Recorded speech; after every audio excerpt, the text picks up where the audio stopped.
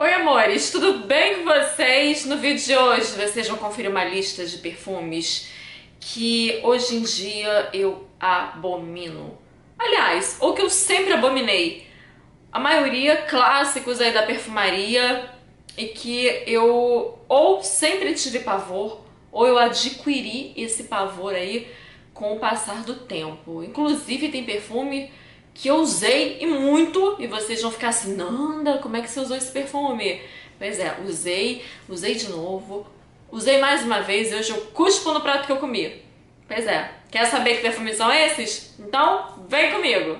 Talvez esse vídeo seja uma primeira parte só, porque eu peguei hoje perfumes assim clássicos, que eu nem tenho aqui, que vocês vão ver, o perfume vai aparecer aqui pra vocês, uh, bem clássicos mesmo, e um que esse sim é mais recente e que eu não pude deixar de fora.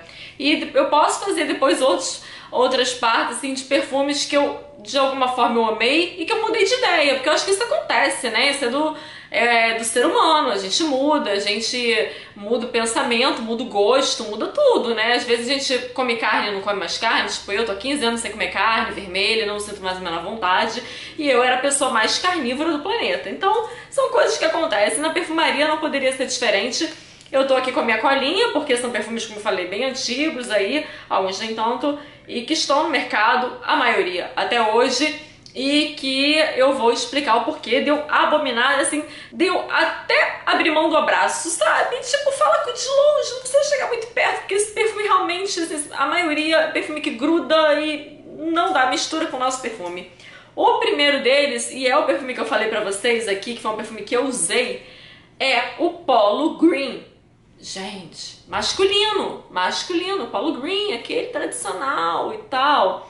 Pois é, o Polo Green é um perfume de 78, 1978. Ele é um chip amadeirado masculino que tem aquele cheiro bem característico. A 2 km de distância você sabe que a pessoa está usando Paulo Green.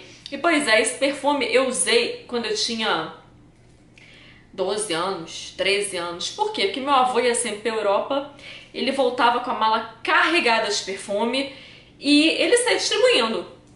Quando dava sorte, eu ganhava o feminino. Eu ganhei o Boucheron, por exemplo, foi meu primeiro importado carão, que ele me deu duas vezes perfume. Tem outros aqui da lista também que ele deu, mas graças a Deus, não, eu ganhei uma vez, mas ele deu pra minha mãe. E, ai, peraí, tem o cabelo aqui. E ele me deu o Polo Green, me deu duas vezes o Polo Green. Então, aniversário, Natal, Dia das Crianças, tudo era perfume, porque tinha muito perfume. E o Polo Green, eu amei na época, sabe, sei lá por quê. Eu ia pra escola você imagina esta criança aqui com 12 anos, 13 anos, usava uns casacões assim, não gostava de usar roupa justa, nada disso. E tinha uniforme também, então eu ia com aqueles casacos enormes, polo, assim. E entupida de polo green. Ficava entranhado no casaco até minha mãe lavar de novo. E bom, o Polo Green, ele tem artemisia, tem coentro, tem junípero, manjericão, bergamota, couro, camomila, é a misturada, né? Pimenta, jasmim, rosa, agulhas de pinheiro, gerânio, amba, patchouli, almíscar, musgo de carvalho, vetiver, cedro, tabaco. É, mas é um perfume que tem uma assinatura, é um clássico da perfumaria, muitos homens gostam ainda. Ele tem esse cheiro envolvente, sim, tem esse musgo de carvalho, é, tem várias notas aqui que são bem predominantes. Uh, ele tem até essa pitada um pouco feminina do jasmim, da rosa, mas é um perfume, claro, masculino, uh, que ele tem essa coisa um pouco floresta, né? Me sinto bem floresta, até por isso que ele é, ah, sei lá, né, verde, mas não dá. Não dá, eu hoje em dia eu abomino esse perfume. É, mas é, é, um perfume que eu ainda suporto, sabe? Tem uns aqui que são abomináveis. Pra mim são abomináveis. Mas esse, se tiver alguma pessoa usando, eu não gosto pra mim e não é um perfume que eu indicaria, por exemplo, meu marido comprar. Mas eu, eu respeito, tá? Eu respeito, assim, o cheiro dele. Uh, eu usei ele bastante, é um cheiro bom. Só que pra mim não dá mais. Vamos ao segundo. Esse eu realmente peguei asco por essa fragrância que não tem jeito, esse não tem jeito. E foi um perfume até que eu tive um namoradinho, namoradinho mesmo, tinha, sei lá, 15, 16 anos, ele era um pouquinho mais velho e ele usava. Naquela época eu já não gostava muito, mas hoje então eu abomino que é o Azarro. o azarro tradicional, aquele azar, aquele azarro de 1978 também. Nossa, mesmo ano do Paulo Green. Pois é, esse azarro. Muita gente fala perfume com cheiro do titio, aquele tio do pavê, né? Aquele tio do Natal. Aí, é pavê pra comer. Dizem que é o cheiro desse titio. Mas tem muita gente, se você entrar em vários sites aí de perfumes é, de pessoas que curtem perfumaria, muita gente, inclusive jovens, usam o Azarro ainda. É um perfume super tradicional, não tenho a menor dúvida. Mas não dá. Não dá mesmo, não dá mesmo, não dá mesmo. Assim, ele é terrível. Eu não consigo. Esse é um perfume que eu não consigo sentir no homem. Esse, nem eu sendo mulher usei, porque é o Paulo Green, eu mesmo sendo mulher, eu usei ele. E tem muita menina que gosta de usar perfume masculino, por isso que eu tô abrindo essa exceção aqui no canal. É, inclusive o Azarro, mas não dá. O Azarro, ele tem ele tem uma coisa da lavanda até muito, muito forte, mas ele tem manjericão também, bergamota, limão, aí tem o junípero, tem a mesma coisa, tem várias notas parecidas com o Paulo Green, vetiver, cedro, cardamomo, couro também. Tem a fava tonka, ele tem realmente uma coisa mais...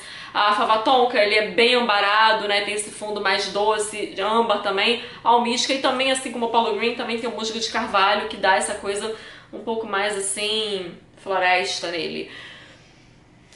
Não dá. Não sei vocês, mas o Paulo, o Azarro também é um perfume que eu sinto, assim, léguas de distância e que eu, esse o Paulo Green que eu falei, eu respeito o Azarro, eu não consigo, não dá, não dá. E não é questão de ser titio, de ser uma pessoa mais velha, mais nova, eu acho que, sei lá, gente, tem muito perfume bom aí no mercado, mas eu também, claro, respeito quem ainda gosta, tem pessoas que usam aquele perfume a vida inteira e vão morrer usando aquele perfume. Super respeito, mas meu gosto pessoal não tolera mais o Azarro de jeito nenhum. Esse é um feminino de, deixa eu ver a data dele, 1987. Sei que tem pessoas aqui que me seguem, que usam, que gostam. Então não fiquem, por favor, bravas comigo, porque já me falaram. Eu já li comentários de pessoas falando, ai, porque ele é maravilhoso, porque ele é um clássico. Respeito, mas pra mim não dá. Esse pra mim é insuportável, que é o Lulu da Caixa Hell. Eu lembro desse perfume, azulzinho, com a tampinha fininha assim, triangular, vermelha, é vermelho e rosa, vai aparecer aí. Esse perfume, em algum momento me apareceu lá em casa, eu acho que foi meu avô, apareceu lá. É um perfume que, juro por Deus, se você tirar a tampa assim, ele sai que nem o gênio da lâmpada, esse perfume. Não precisa borrifar, não precisa virar, nem tem borrifador, né? Eu não sei se hoje em dia já reformularam, já tem, mas oh, eu tô falando da época dos anos 80 ali. Você tinha que virar, molhar o dedinho e passar. Pois bem, ele sai do vidro como o gênio da lâmpada, esse perfume. Só de você abrir ele, você tem três desejos: fugir, correr para longe, porque ele é muito forte. Ele é muito, muito forte. Ele é aquele perfume que sufoca, na minha opinião.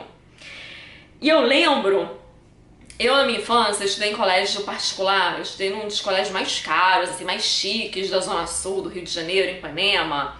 É, muita gente famosa estudava lá, filho de presidente, Cazuza estudou lá, Pedro Bial, é, vários filhos aí de deputados, é, os filhos do Bebeto, daquele jogador de futebol, o, do, os, o, os, filhos do Tom Cavalcante. Era assim, uma celebridade, era só celebridade naquela escola. Então, eu ia nas festas e tal. As mães estavam sempre com os perfumes mais caros. E esse aqui era o perfume que eu sempre sentia. E eu ficava, ai mamãe, não tô aguentando esse perfume. Minha mãe também não suportava. E as madames lá sentavam o dedo, né? Tomavam banhos de Lulu. Então todas arrumadas, aqueles cabelos com aqueles rococó aqui em cima, tudo de taie, com aquelas ombreiras e o tal do Lulu. Não dava. O Lulu, ele é um perfume, vamos lá, falar as notas pra vocês. Que ele tem canela, tem lírio, tem ameixa, tem mimosa, íris chinesa, tem, é, não, canela chinesa, violeta, caça, jasmim. Ele é bem, bem oriental floral. Ele é bem floral. Aí tem caça, jasmim, anis, que eu não suporto anis. Eu não suporto anis, não tem jeito. E aí ele tem tuberosa, que também é uma nota, uma flor que eu sempre falo aqui que é uma flor que nem sempre eu curto, e nesse caso eu abomino. Flor de laranjeira que eu gosto, tem lírio florentino, tem o heliotrópio, ilang lang, flor de tiaré, taitiana. Aí o sândalo, almísca, beijoim, baunilha e o incenso que dão uma... Ai, pra mim, eu acho que são um alívio. Mas essa explosão floral que ele tem é uma coisa muito forte. Parece um cheiro... Gente, por favor, por favor, me perdoe quem ama o Lulu. Mas pra mim ele é tão forte como um cheiro de éter. Assim, é uma coisa... Pá! Não dá. Não dá. Olha, eu sinto, engraçado, eu não tenho mais esse perfume. Nunca mais senti o cheiro dele em lugar nenhum. Eu acho que ele caiu um pouco aí de, de moda. Mas eu sinto o cheiro dele até hoje. Entranhou no meu DNA. Entranhou, assim, na minha vida. Esse cheiro. Então, como eu falo, ele é um, um oriental floral. Um floral muito, muito forte. Que quando eu abria, às vezes, pra sentir o cheiro, pegava os perfumes da minha mãe, minha mãe falava: Cuidado quando abrir um Lulu, cuidado, porque senão a casa não tinha coisa igual. Então, Lulu é um perfume que eu tenho pavor. Obrigada. Se tiver com Lulu, ó, te dá um beijo de longe. Tá bom? Dá um joinha assim, mas não precisa abraçar porque não tem como. Não tem como, não, é, não dá mesmo. O próximo. O próximo também entra um pouco nessa categoria e foi um perfume, acho que foi um dos perfumes mais famosos dos anos 80 em termos de perfumaria feminina.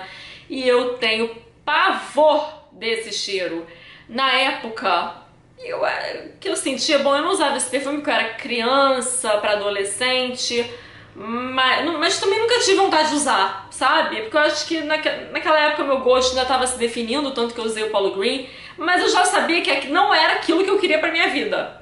Que é, na época a gente falava assim, tá? Na época a gente falava Anaís Anaís da Cacharel, né, né? Era Anaís Anaís. Era Anaís, a gente falava como escrevia. Anaís, Anaís. Tinha aquela flor, aquela rosa.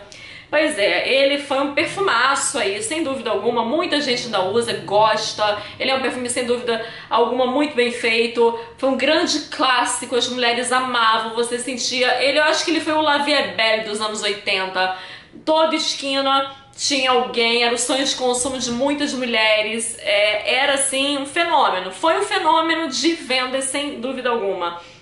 E ele tem flor de laranjeira, lavanda, gálbano, madre silva, jacinto, limão verdadeiro, é, bergamota, aí o corpo dele, né, principal, jasmim marroquino, madre silva, cravo tuberosa, que é como eu falo, tuberosa foi uma flor muito famosa aí nos anos 80, tudo quanto é perfume tártica tuberosa, foi muito famosa mesmo. E aí, deixa eu desligar aqui meu WhatsApp. E aí tinha da tuberosa, como eu falei, íris, lírio, uh, ilang lang, lírio do vale, rosa. E no fundo ainda tinha couro, sândalo, âmbar, patchouli, almística, musgo de carvalho também era muito usado nessa é, foi muito usado nessa época, vetiver, incenso e cedro. Muitas notas, muitas flores, muitas coisas ali e que eu não suporto. Esse perfume ele entra numa categoria, ele além de ser muito forte, não tanto quanto o Lulu, ele enjoa essa rosa dele, essa coisa floral rosa muito forte. Mistura rosa com a tuberosa, rosa com tuberosa. Não tem como, eu não consigo. É outro perfume também que não precisa me abraçar, fala comigo de longe que tá tudo certo. E desde criança eu tinha pavor. Então vamos lá, o próximo, esse eu tive. E muita gente aí deve ter tido também, porque é um perfume que até hoje tem gente que compra mas eu tive a época, eu acho que eu tinha meus 17, eu tinha 17 anos, é isso mesmo, 17 anos, eu usava esse perfume, era um importado, então era um importado barato, vendido em farmácia. Eu comprei o meu na droga alguma coisa lá na Farmalife, no Rio Sul, no Rio de Janeiro. E eu falava, ah, perfume importado. É o Gabriela Sabatini. Quem não teve, quem não ouviu falar, quem não viu na farmácia, é um perfume muito tradicional também, criado em 89, mas eu só fui começar a usar esse perfume em 99, 10 anos depois. E ele, ele tem os aldeídos que me hum, hum, gritam nesse perfume. As notas frutadas, tem bergamota, limão verdadeiro siciliano também, tangerina, aí tem madre silva, flor de laranjeira, jasmim, heliotrópio, lírio do vale, rosa... Uh, Aí tem o sândalo, tem a fava tonka, que eu já gosto, âmbar, patchouli, oriza, baunilha, musgo de carvalho também, viu como os perfumes dessa época, todos tinham musgo de carvalho, tuberosa, rosa, é uma tendência da época, né? E o almíscar. Esse é um perfume que entra na categoria assim, que me dá dor de cabeça, que me enjoa, que me embrulha, que me dá uma coisa muito ruim. Assim, muito ruim mesmo. Me dá aquela coisa assim, parece que vai dar uma enxaqueca. E foi um perfume que eu usei consideravelmente. Consideravelmente, eu quase sequei o vidrinho. Mas depois eu tomei um pavor. Eu não sequei o vidro porque antes de secar eu tomei pavor dele. E era um perfume que eu usava só pra sair, sempre pra night, né? Boatezinha, festa, baladinha lá, que era night, né? Pra night. Eu só usava ele. E hoje abomino esse perfume. Aliás, desde aquela época eu passei a abominar. Não sei vocês, mas pra mim, Gabriela Sabatini, que foi aí também, né? Ficou super na modinha, não tem como usar, mesmo.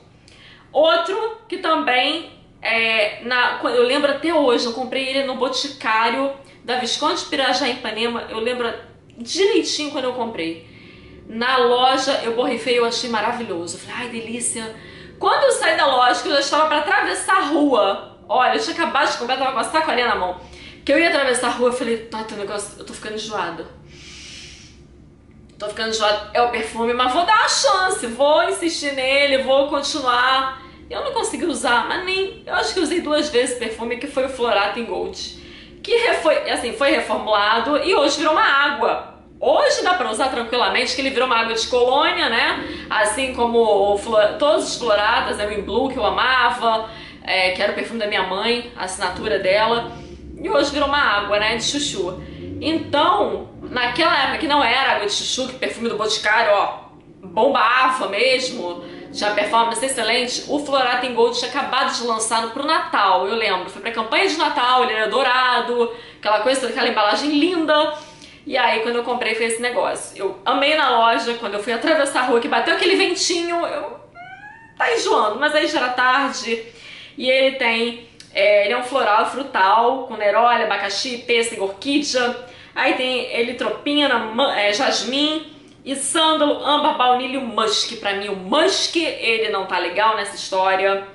E tem alguma coisa é, floral também no coração dele que me enjoa absurdamente. Então esse perfume, ele ficou largado lá em casa até vencer, porque eu tentei usar, mas foi aquela coisa de borrifar e falar, tô enjoado, preciso lavar o pescoço, lavar, porque não tá dando pra usar. Não sei vocês, eu acho que quem conheceu o novo Florata Gold, né? É Gold ou Gold. Deve até gostar, porque realmente tá super suave. Mas o antiguinho da fotinho, não. Esse não tem como. Outro, vamos lá. Outro que eu também, hoje eu tenho pavor e que eu usei o contratipo dele do Boticário. Era o que? Era uma Cherry? Era uma Cherry, eu acho que era uma Cherry que tinha um contratipo dele, uma meio laranjinha, que é a do Tommy feminino. Esse é outro que eu nossa, eu não tive o Tommy, porque na época era caro pra caramba. Eu tive o contratipo, que era parecidíssimo do Boticário, e eu tive da Contém Grama também. E é, o do Boticário era bem parecido, era bem parecido mesmo. E depois de um tempo eu passei a abominar. Esse é um também que sinto de longe, já me dá um negócio, já não passo bem. Ele é um perfume de 96 e foi nessa época mesmo que eu comecei a usar e comecei a querer. Cassis, groselha preta, camélia, tangerina, ele tem bem essa coisa frutada, bem, a tangerina dele é bem forte. Aí depois ele vem com coração bem floral, madressilva, lírio, violeta, mas ele tem ainda também uma fruta no, no coração dele, que é o limão verdadeiro siciliano, tem a toranja, tem rosa e o fundo ele tem magnólia, que aí eu acho que magnólia me enjoa também, acho que é uma flor que me enjoa, couro, sândalo, jasmim e cedro. Então eu acho que essa coisa do é, da magnólia, do jasmim no fundo misturado, ainda tem rosa. Me enjoa. Não sei vocês, como eu falei, eu tive o contratipo, não tive o original, mas eram bem iguais, bem similares do Boticário. E foi um perfume que eu também usei pra caramba. E já chegando ali no final, eu tomei pavor nunca mais consegui comprar, nunca mais consegui usar. E hoje o Tommy tem ele na, aqui perto de casa, na Century 21. Custa muito barato aqui, né, por ser loja de departamento, e eu passo longe dele porque eu já senti o teste. Assim, relembrando, né, os velhos tempos, resolvi sentir, falei, ai, realmente eu odeio, eu odeio esse perfume mais. Mas é um perfume super bom, tá? Não é um perfume. Pra mim, não entra na categoria de nossa, que detestável, não é isso. Eu enjoei dele completamente, tá? Mas é um perfume, sim, super bacana, mistura flor com fruta, então, sem problemas. Agora, o perfume que eu lembrei aqui, que foi um perfume que eu amei e que hoje eu abomino, vocês vão tomar um susto. Porque esse é conhecido, é da época de agora. Eu posso até fazer, um, fazer uns assim, é, fazer uma outra lista com perfumes mais atuais, afinal de contas essa lista de hoje foi de perfumes mais clássicos, mais antigos, mas esse atual que eu eu não sei o que aconteceu, eu gravei vídeo falando muito bem desse perfume. Isso que é mais louco da história. E hoje eu detesto ele, que é o chocolate da Tipos. Quando ele chegou lá em casa, eu simplesmente senti e eu falei, meu Deus, que perfume maravilhoso. Olha o cheiro de chocolate disso. Que coisa maravilhosa. Gravei o vídeo correndo porque eu queria contar para vocês a novidade, o perfume com cheiro de chocolate. É... Assim, eu amei mesmo. falei, cara, perfeito, perfeito, perfeito. E eu não tiro uma palavra daquilo que eu falei no vídeo, porque foi realmente a minha sensação naquele momento. Depois, passou um tempo, eu tava experimentando outros perfumes e tal. Eu não tava com muito tempo de usar ele com mais frequência. Até que um dia, tempo tava frio, resolvi pegar o chocolate pra ir pra academia. Não, minto, que pra academia. Eu tava indo sair, sair com uma amiga e ao cinema com uma amiga. E falei, vou botar o chocolate. Quando eu dei uma borrifada no meu pulso, eu falei, o que que é isso? Eu falei, não é a mesma coisa. Não é aquilo que eu senti. Eu senti uma coisa extremamente sintética. Não senti mais o cheiro de chocolate que eu tinha sentido no primeiro dia.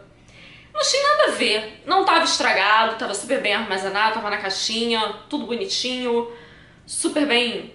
Era, era o mesmo cheiro daquele dia, só que a minha percepção mudou completamente. E eu falei, gente, não tem cheiro de chocolate, tá me enjoando demais. Eu tô achando ele extremamente sintético.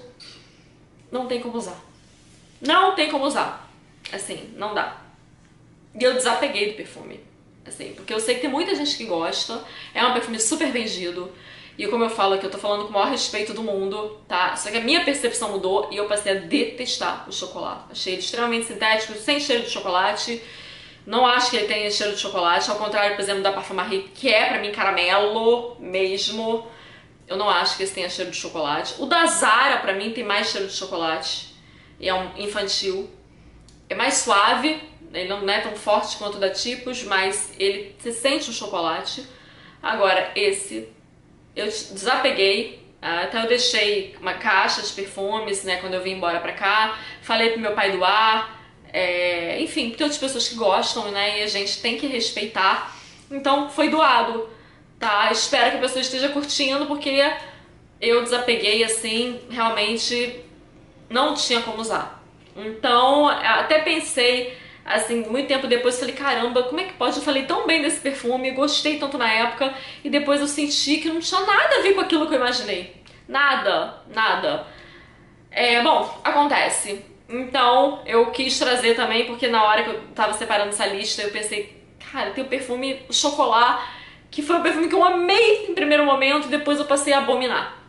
Então, eu posso fazer outros vídeos aqui falando de perfumes que eu mudei aí minha percepção e que hoje em dia eu não consigo usar.